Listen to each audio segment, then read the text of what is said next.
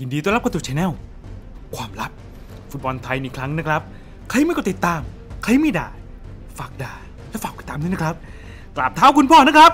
แม่ ฟุตบอลทีมชาติไทยจะลงอุ่นเครื่องเจอกับโอมานวันที่ 25 นี้แล้วนะครับหนึ่งทุ่มตรงที่ UAE ครับ บวกไป 3 ชั่วโมงนะครับ ถ้าเทียบเวลากันครับ นับนิ้วแป๊บหนึ่งครับพ่อครับ ไม่ค่อยเก่งเลขครับ 19 20 21 22 ประมาณ 4 ทุ่มตรงครับพ่อครับ กับเวลาบ้านเรานะครับ หลายๆ คนลุ้นนะครับว่าจะมีการถ่ายทอดสดหรือเปล่าครับ เดี๋ยวผมจะมาแชร์กันครับ ถึงช่องทางการดูลับๆครับ ซึ่งอาจจะมีอยู่จริงครับ แต่มาฟังแถลงข่าวของนาอากิระนิชิโนะก่อนเกมการแข่งขันการอุ่นเครื่องระหว่างโอมานกับไทยเราในวันที่ 25 ตอน 4 ทุ่มตรงตามเวลาบ้านเรานะครับอากิระนิชิโนะนะครับหัวหน้าผู้ฝึกสอนครับ หรือโค้ชทีมชาติไทยเองนะครับ แถลงข่าวก่อนเกมอุ่นเครื่องกับโอมานผ่าน video conference มานะครับ ช่วงเวลา 11 โมงนะครับ หรือช่วงบ่ายของบ้านเรานั่นแหละครับพ่อครับอากิระนิชิโนะครับแกแถลงข่าวครับถึงความพร้อมนู่นนี่นั่นเลยครับว่าจะอุ่นเครื่องกับโอมานครับ เราจะได้อะไร แล้วเราจะทดลองอะไรบ้างครับ แกกล่าวแบบนี้ครับพ่อครับ เดี๋ยวผมจะพากให้ฟังนะครับ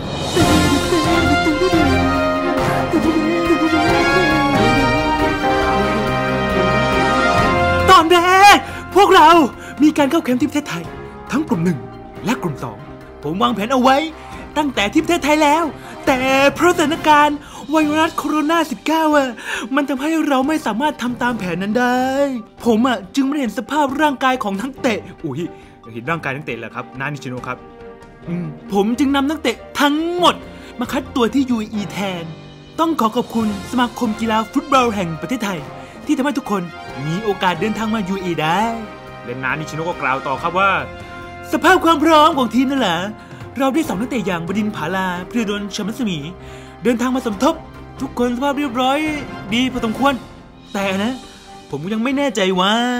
จะทำได้ดีหรือเปล่าในเกมการอุ่นเครื่องที่จะถึง แล้วก็จะได้ใช้หรือเปล่านะในเกมเจอกับอินโดนีเซีย ผมพยายามเร่งความฟิตนักเตะให้เร็วที่สุด เรามาดูกัน เราจะมาดูกันว่าใครมีสภาพร่างกายที่ดี ซึ่งแน่นอนว่า มันมีผลต่อการตัดตัวนะเฮดโค้ชชาวญี่ปุ่นครับพูดถึงการเตรียมตัวที่น้อยกว่าคู่แข่ง 3 ทีมครับ ทั้ง UAE อินโดนีเซีย มาเลเซียครับพ่อครับ แกกล่าวแบบนี้ครับ พอถูกถามเรื่องการเก็บตัวที่น้อยผิดปกติครับ แกตอบแบบนี้ครับ พวกเราคือทีมชาติไทย จะบอกว่าไม่มีเวลาซ้อม ไม่มีเวลาทำทีมไม่ได้ เดี๋ยวโดนด่าเอ้ยนี่ผมเติมเองครับ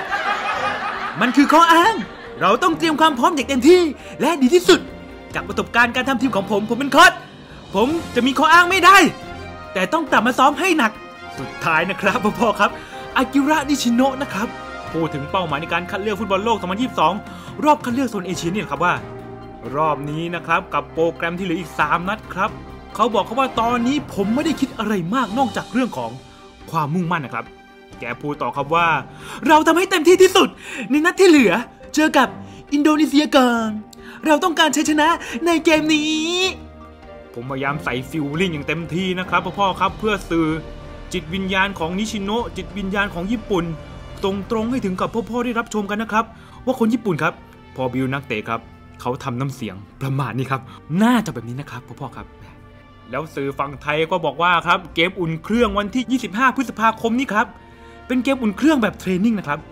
แข่งแบบสนามปิดครับ สามารถเปลี่ยนตัวผู้เล่นได้ไม่จำกัด แต่จะไม่อนุญาตให้มีการถ่ายทอดสดนะครับ แข่งขันเวลา 19นาฬิกาตามเวลาท้องถิ่นของ UAE นะครับ ซึ่งตรงกับเวลาที่นับนิ้วเอาไว้นะครับ เอ่อหนึ่งสิบเก้ายี่สิบยี่สิบเอ็ดยี่สิบสองสี่ทุ่มตรงครับแต่ก็ไม่แน่ครับพ่อๆครับ มาเลเซียอุ่นเครื่องคูเวตนะครับ นั่นมันแข่งแบบสนามเปิดครับ ตอนแรกก็บอกว่าจะแข่งแบบสนามปิด อยู่ดีๆก็ดันเปิดครับ ไม่มีสดแต่มีไฮไลท์ แบบกากาครับไม่รู้ใครแอบถ่ายคลิปออกมาเหมือนกันครับ สนามปิดแบบไม่เต็มที่ครับ ถ้าปิดจริง ๆ นะครับพ่อๆครับ นักเตะจะเข้าได้ไงครับ จริงไหมล่ะครับพ่อๆครับถ้าสนามปิดครับ ก็เข้าไม่ได้ดิครับเตะไม่ได้ครับ แน่นอนแล้วครับว่าที่ UAE ครับถึงเราจะแข่งแบบสนามปิดนะครับ แต่อาจจะมีทีมงานฝั่งโอมาน หรือฝั่งไทยหรือยูทูบเบอร์รายใดในโลกนี่แหละครับ แอบเข้าไปถ่ายมาจนได้แหละครับพ่อๆครับงานนี้ครับ อาจจะนะครับยังมีความเสี่ยงที่จะ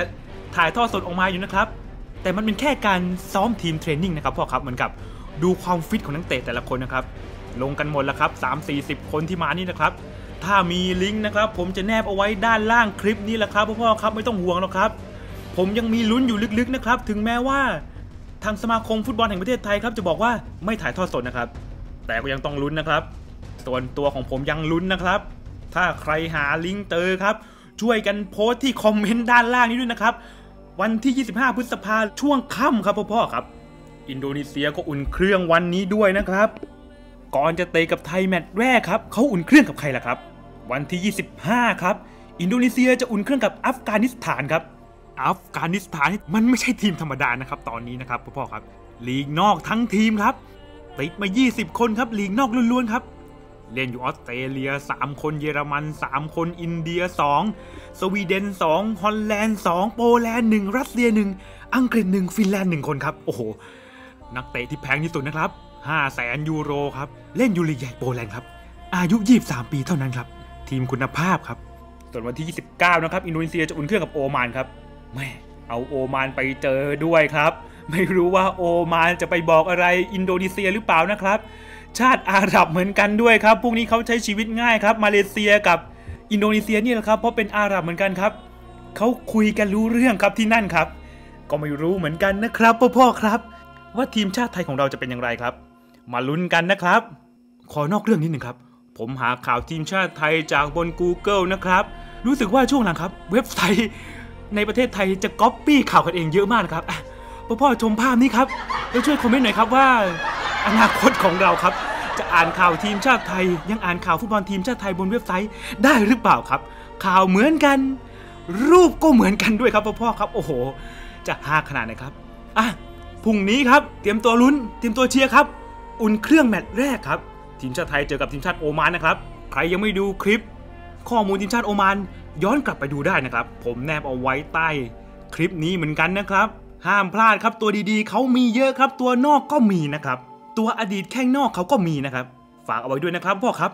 ลาเลยครับ ขอบคุณมากครับ เป็นยังไงกันบ้างล่ะครับ ความลับตัวนี้ ใครไม่กดติดตาม ใครไม่ด่า ฝากด่า และฝากติดตามด้วยนะครับสำหรับวันนี้ สวัสดีครับ ยังไม่จบครับพ่อพ่อครับ ขอเติมคลิปอีกนิดนึงครับ และสดๆร้อนๆครับพ่อพ่อครับ พิธีวัตรครับ แกให้สัมภาษณ์ซึ้งดีครับ ผมเลย ขอเติมท้ายคลิปนี้ครับ แกพูดแบบนี้ครับ ผมคิดว่าทุกทีมสามารถสร้างปัญหาให้กับไทย เพราะทุกทีมเตรียมตัวมาดีเหมือนกัน เราต้องไม่ประมาท เราต้องไม่ประมาทครับ และสู้อย่างเต็มที่ ฝากถึงแฟนๆทุกคนครับ ช่วยเป็นกำลังใจให้กับทีมชาติไทยของเราด้วยนะครับ ขอบคุณมากครับ นี่แหละครับ เป็นคำให้สัมภาษณ์สั้นๆครับ จากพิธีวัตรสุจิธรรมกุลนะครับ คนนี้หล่อไม่มากครับแต่เก่งมากครับพ่อๆครับ ลาจริงๆแหละครับ